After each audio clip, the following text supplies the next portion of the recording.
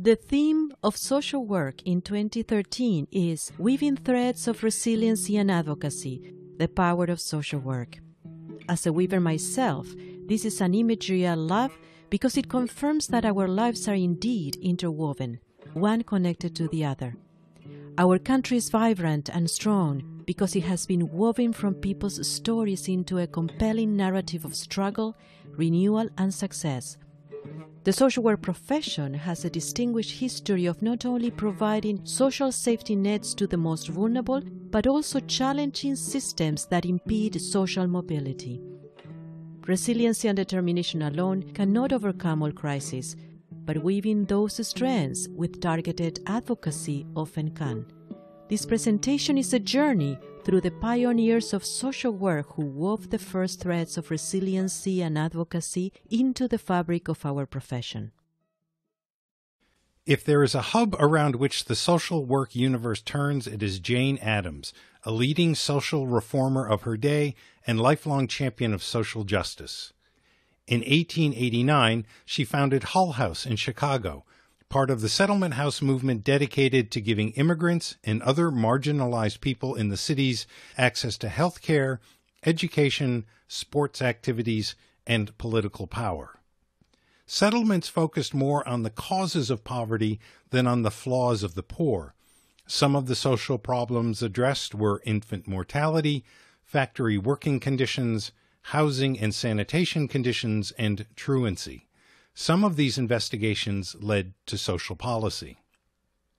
Throughout her life, she threw her energies into such activities as gaining the vote for women and the international peace movement. She was awarded the Nobel Peace Prize in 1931, the first given to a woman, though in the United States her pacifist views gained her the reputation of being one of the most dangerous women in the country.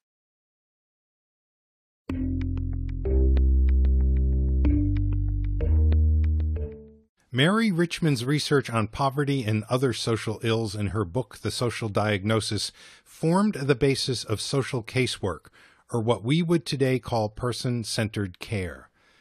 World War I provided unique opportunities for social caseworkers through their work in war related activities, such as the Red Cross's Home Service. Led by Mary Richmond, caseworkers applied their skills to problems faced by servicemen and their families. Richmond's most important contribution was her insistence that care was a partnership, where the social worker would work with people's strengths to craft appropriate responses to a person's needs.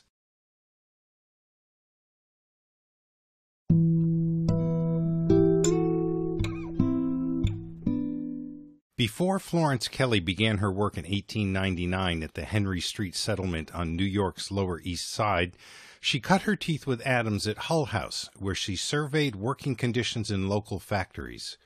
Her research led Illinois to pass the first factory law prohibiting children under 14 from being employed. In New York, she became secretary of the National Consumers League, responsible for introducing the white label designation, which was granted to employers that followed labor laws and safety standards. She also led campaigns that resulted in the Pure Food and Drug Act of 1906, which regulated working hours and minimum wage. She established the National Child Labor Committee, and her signature accomplishment was the creation of several organizations that set up federal state partnerships to combat maternal and infant mortality and better the lives of children.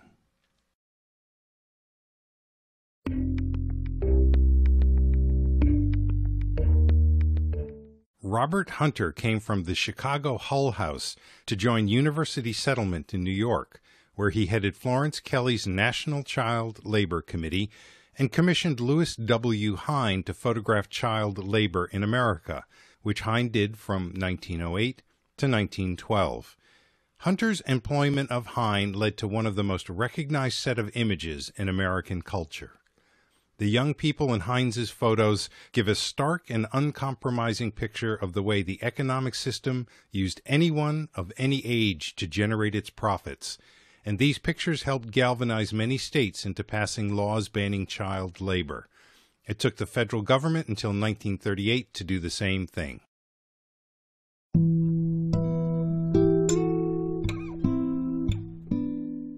Etta Wheeler brought the first case against child abuse in the United States in 1874. The child was Mary Ellen Wilson. At that time, there were no laws against child abuse, and although she went to the police, the courts, and the church, nobody listened. So she went to Henry Bergh, founder of the American Society for the Prevention of Cruelty to Animals, who became an ally in her efforts. Wheeler gathered documentation on the abuse and recruited witnesses, while Bergh contacted New York Times reporters who published detailed accounts and pictures of the abuse. Mary Ellen was removed from her parents' custody, and her case led to the creation of the New York Society for the Prevention of Cruelty to Children, the first protection agency in the world. Later in life, Mary Ellen got married, had two children, and later adopted an orphaned girl. She died in 1956 at 92.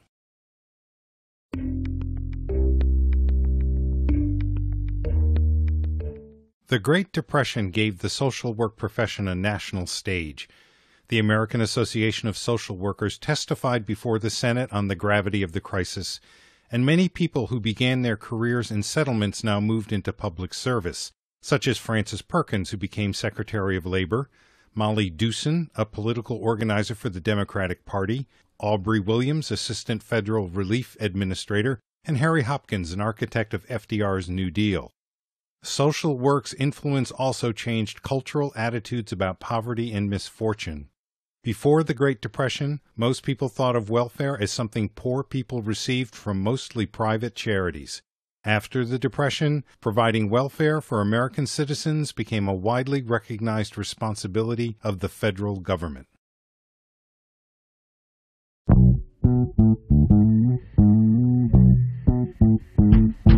Because of the Depression, many social workers like Bertha Capen Reynolds examined systems and institutions for solutions to the social problems of individuals.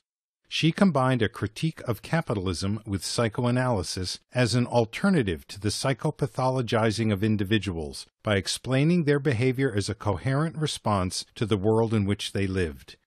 During the McCarthyite 1950s, she paid a professional price for her work. She was blacklisted from teaching. But she continued her activism, and her ideas influenced the second wave feminists of the 1970s. She believed that the focus for practice in a helping profession is faith in the possibilities within people if given the right conditions for growth.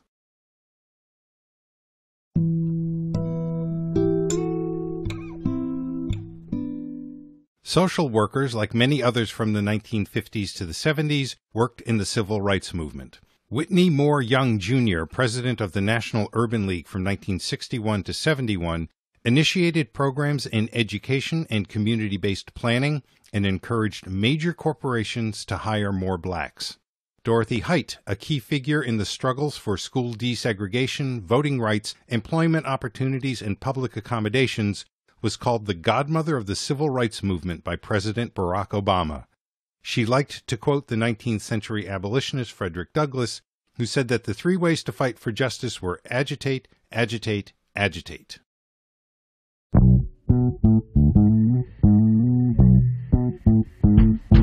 Irena Sendler, a Catholic Polish social worker with the Warsaw Municipal Social Service, saved the lives of about 2,500 Jewish children in the Warsaw Ghetto.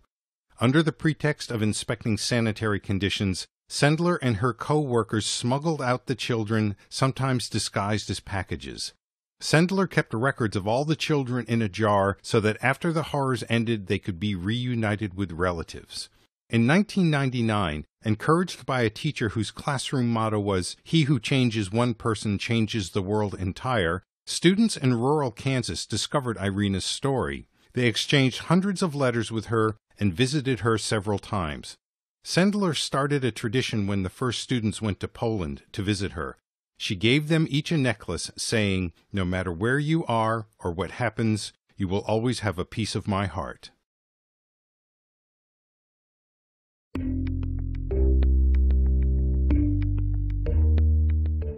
Ida Cannon, Dr. Richard Cabot, and Garnet Isabel Pelton helped establish the first social work department at the Massachusetts General Hospital in 1906, with Cannon being named the first chief of social work in 1914.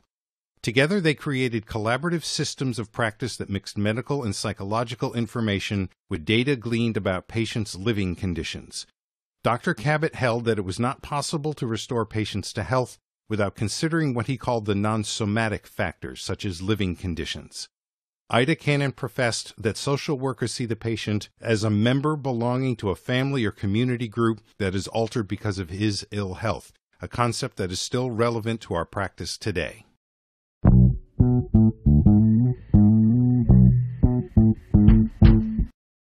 In 1904, Presbyterian Hospital placed a nurse as a social worker in the Neurological Institute to assist patients and focus on promoting public health. That same year saw the creation of the New York School of Applied Philanthropy, which later became Columbia's School of Social Work. Columbia Presbyterian Medical Center added a social work department in the 1920s and hired Janet Thornton as the first director in 1924.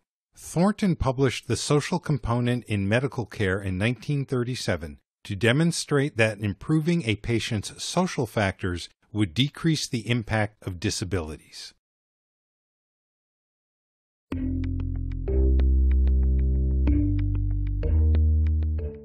And lastly, our own Sheila Ryan, who added the most amazing threads to this fabric of social work history. Sheila died of cancer on January 20th, 2013. When she was just 18, she began her lifelong commitment to social justice, volunteering for the Student Nonviolent Coordinating Committee and going to Mississippi for Freedom Summer's voting registration battles. She was arrested at the first ever sit in at the White House, where she and others demanded to speak to President Johnson about Selma, Alabama. Always active while in prison, she organized a prisoner to prisoner literacy program. In the 1980s, Sheila worked for peace in the Middle East wrote extensively, and co hosted a radio program. Sheila also earned simultaneous master's degrees in social work and public health from Columbia University and became director of the Special Needs Clinic, supporting children and families affected by HIV/AIDS. Along with other special needs clinic staff, she co authored several chapters in a psychology handbook.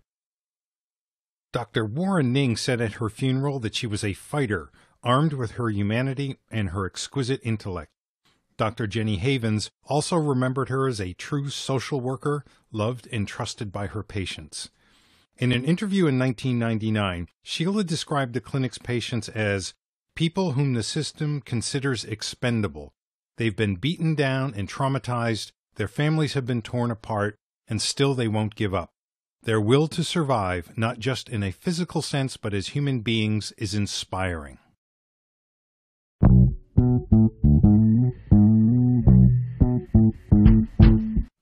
This presentation has been a brief journey through a family album that helps us see where we come from and inspires us to continue our work. Each day, let us add our own portraits to this album as we weave threads of resiliency and advocacy into the fabric of people's lives as well as into the fabric of our profession's history.